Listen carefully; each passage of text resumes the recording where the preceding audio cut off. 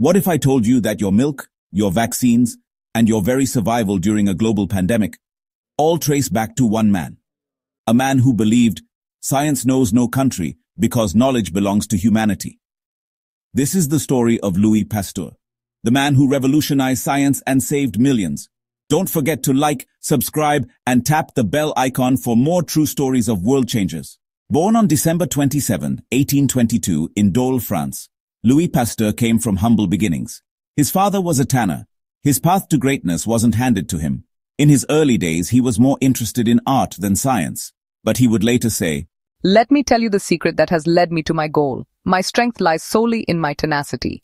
At the École Normale Supérieure, he delved into chemistry and crystallography, making an early mark by discovering molecular chirality, a concept still vital in pharmaceuticals today.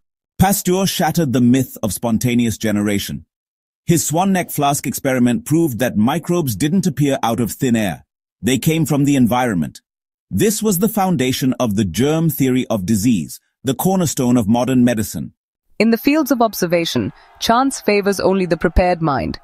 His discovery not only changed science, it changed how we treat every wound, every surgery, and every infection. Ever wonder why milk doesn't spoil instantly?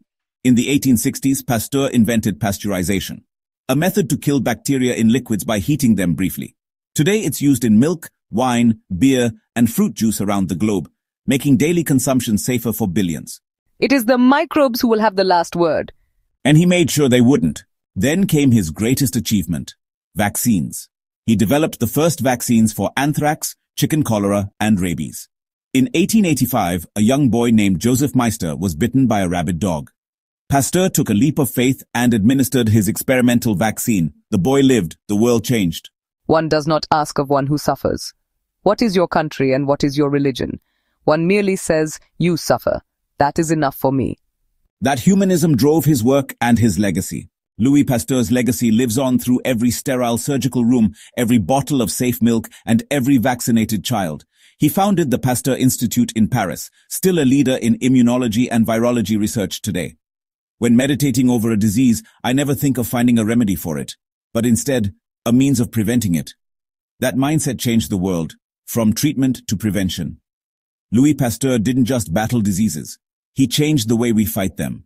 From rabies to food safety to hospital hygiene, his fingerprints are on every aspect of modern medicine. Hit like if this story inspired you. Comment below which Pasteur quote or discovery moved you the most. Subscribe for more stories of legends who shaped our world. Posterity will one day laugh at the foolishness of modern materialistic philosophers.